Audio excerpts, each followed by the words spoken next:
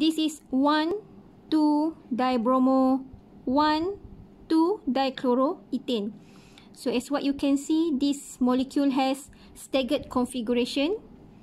So we can see hydrogen atom at the top carbon here and this next carbon and this hydrogen at the bottom.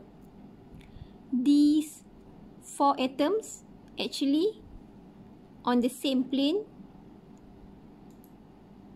so you can see hydrogen carbon carbon hydrogen on the same plane however chlorine atom this bromine atom out of plane this bromine atom and this chlorine atom at the back. So now we want to find out the symmetric elements operation for this molecule. So for example, hydrogen at the top and hydrogen at the bottom opposite each other.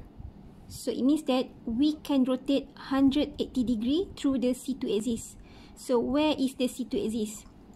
So we look this molecule from the front or side view.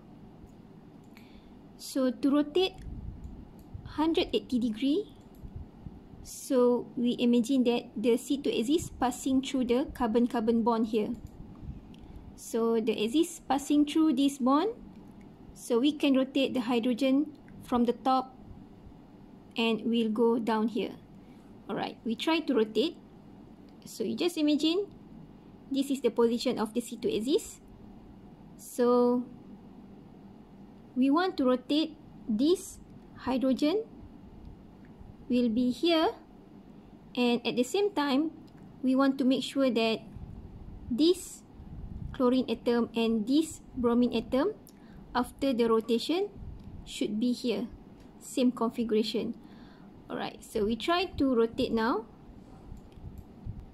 We look at all atoms. Must be same configuration. So this hydrogen rotate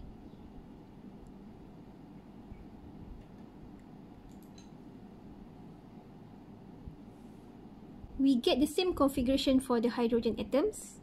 However, for the chlorine and bromine, different position as before.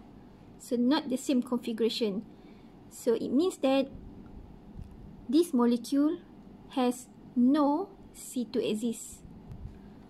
Alright, so we try to find out another symmetry elements operation which is reflection plane. So we try to put the plane cutting through here. So we can see that this bromine atom reflect through this plane will be reflect at the back. So, different configuration as before. And then we try to put the plane like this, cutting through the carbon atom. And as what we can see, this bromine and chlorine atom reflect through this plane will be down here. So different configuration. And then we try to imagine the plane cutting through in the middle here between carbon-carbon. As what we can see also, after reflection through this plane, we don't get the same configuration. So it means that this molecule also has no plane for reflection. Alright, so now we want to find out the center of symmetry. So we just imagine the center should be here between the carbon-carbon bond. And we inverse chlorine at the back and this chlorine here through this center. Yes, we get the same configuration inverse through this center. And we try to inverse hydrogen at the top and hydrogen at the bottom. So through this center we get the same configuration and finally we inverse this bromine atom through this center with this bromine atom at the back. So we get the same configuration.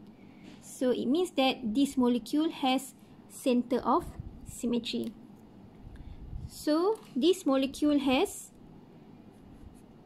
identity C1 of course rotation 360 degree and the last one center of symmetry which is equivalent with the S2 symmetry element separation. So point group for this molecule must be low symmetry point group and this is the point group for this molecule because only has center of symmetry instead of identity and C1 rotation axis.